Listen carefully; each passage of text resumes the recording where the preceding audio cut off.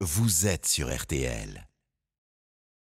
Je le disais avant la pause il y a quelques secondes, oui, Charles Aznavour, t'as as été bercé euh, avec euh, Charles Aznavour. Ah, j'ai euh, oui, ah, mais j'ai grandi avec Charles Aznavour. Et puis j'ai rencontré Charles Mais oui, Aznavour. par quoi? 3-4 fois, c'est ça? Ah, j'ai rencontré, euh, j'ai rencontré 3-4 fois et chaque fois c'était des histoires incroyables. Je sais qu'une fois, il est venu voir ton spectacle. Et il avait oublié son appareil auditif.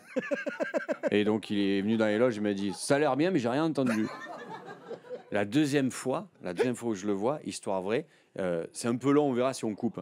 Euh, on mange, il y a un grand, grande table comme ça, je suis à côté d'Aznavour et j'ai un couple d'Asiatiques en face de moi. Ouais. Et le mec, il est négociant en vin, d'accord? Il vit à Macao, à Genève et machin et tout. Et d'un coup, Aznavour, il fait Demande-lui son nom, demande-lui son nom. Et j'ai vu, ben, vous appelez comment? Il me fait Kim Jong-nam.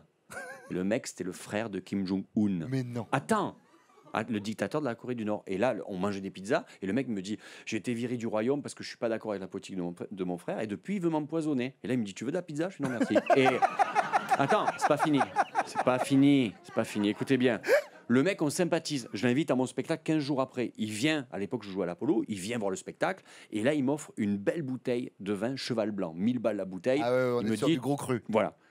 Est-ce que tu crois que une semaine après, j'allume la télé, BFM, et le mec a été empoisonné par son frère? Vous êtes au courant de cette histoire? Mais oui. Et le mec, une semaine avant, j'étais avec lui. Et moi, je dis, j'ai perdu un ami.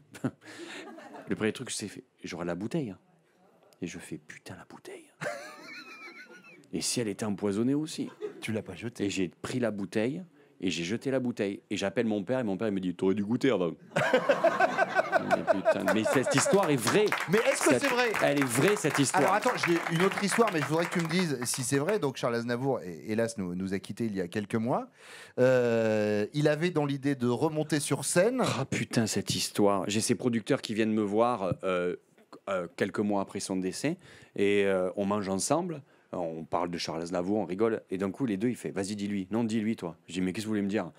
On te dit euh, Charles Aznavour, il voulait faire euh, le record de Bercy à la suite. Et il nous fallait une première partie. Et on lui demande Qui tu veux en première partie à Bercy. hein. Et il dit Je veux le petit Arménien. Et j'ai dit Qui? Il fait euh, Madénian. Il fait Mais euh, Madénian, c'est un comique. Donc, euh, c'est pas. Je veux Madénian. Et je veux qu'il y ait son nom, première partie, sur l'affiche. Mad- Il est mort. Vraiment, c'est un Arménien. Vraiment, vraiment, pour aider les compatriotes, Charles, vraiment, t'es un enfoiré, je te le dis. hein. J'étais à ça de faire Bercy, putain. Attention nous, va- nous allons parler de ton spectacle et on va. Alors, je suis désolé, j'ai pas de- des talents de, de chanteur. de- déjà, j'essaye d'en Attendez, avoir. on a fait, euh, n'oubliez pas les paroles, on a gagné. Mais oui, On a éliminé tous les vrais chanteurs et nous, on a gagné juste parce qu'on connaissait les paroles. mais on chantait mal. Oh, oh, mais qu'est-ce que c'était horrible. Et bien justement, on va le reprouver une nouvelle fois. On Interview- décomposait les chansons, nous. Interview sur du Charles Aznavour. Vas-y, T'es prêt? Vas-y. Alors, toi, tu. euh, Moi, je réponds en chantant. Voilà, tu réponds en chantant. Moi, j'ai écrit les paroles. Toi, tu sais pas. Donc, c'est Ok, vraiment de vas-y. l'impro. On y va. Ok, attention. vas-y.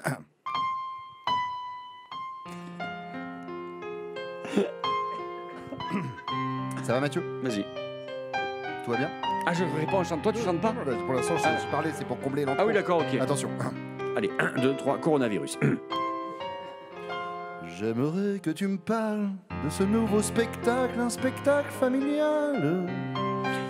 Qu'est-ce qui t'a inspiré? Comment tu l'as créé Si tu t'es censuré pour ne jamais vexer les gens de ta famille, cette question est trop longue. Mathieu, c'est la règle et maintenant, mon gars, il faut que tu me répondes. Tu te fais pas chier. Tu te fais pas chier. T'as enchaîné toutes les questions. Le spec. Le spectacle a été écrit en pensant à mon père, en pensant à ma mère, en pensant à ma soeur. Je me suis pas fait chier non plus. Je les ai juste regardés. Ils ne m'en veulent pas car je gagne de l'argent et je leur en donne beaucoup. Ils sont très fiers de moi, surtout ma sœur Oya, à qui je paye des places de concert qu'elle ne peut pas se payer parce qu'elle est que assistante sociale. Applaudissements pour Mathieu Madénian. Merci. J'en ai l'autre. J'en ai l'autre, j'en ai l'autre. Là maintenant, on va parler un peu plus de, de ta vie. Ok. Oh là là. Attention, Toi t'as préparé enfoiré. ne bouge pas. Je te fais signe, je te tape sur l'épaule. Mathieu, à 25 ans, t'as quitté ta province, bien décidé à conquérir Paris. Le cœur léger et le sourcil fourni. T'es arrivé pour jouer la comédie. Tu n'avais rien, tu avais tout à faire. C'était le début de ta toute nouvelle vie. Si tu pouvais revivre cette période de ta vie, y changerais-tu quelque chose, mon ami? Je ne changerai rien. Ma vie est super. Je me lève le matin très tard, je me couche très tard aussi. Je suis heureux, je n'ai rien à perdre. La vie est belle, je suis très heureux et je suis ici. Merci hein.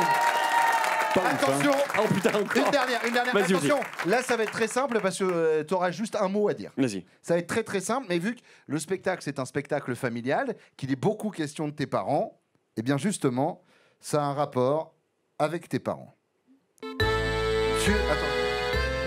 Je la refais au départ. Attention, 3, 4. Mathieu, dis-moi, oh qui tu préfères? Qui tu préfères entre ton père et ta mère? Ta réponse doit être claire, sinon tu finis en enfer? Mon. Le problème, c'est qu'ils écoutent tous les deux. Donc je vais dire que je préfère ma grand-mère. Je préciserai pas laquelle, les deux, elles sont mortes. Mais elles nous écoutent de là-haut. Et je les remercie pour l'argent que j'ai gagné grâce à leur décès. Voilà. L'applaudissement pour Mathieu Oh. Et tout ça, est, tout ça est basé sur l'improvisation, les amis. Et c'était une façon pour nous, peut-être pas forcément délicate, de saluer la mémoire de Charles Aznavour. Dans-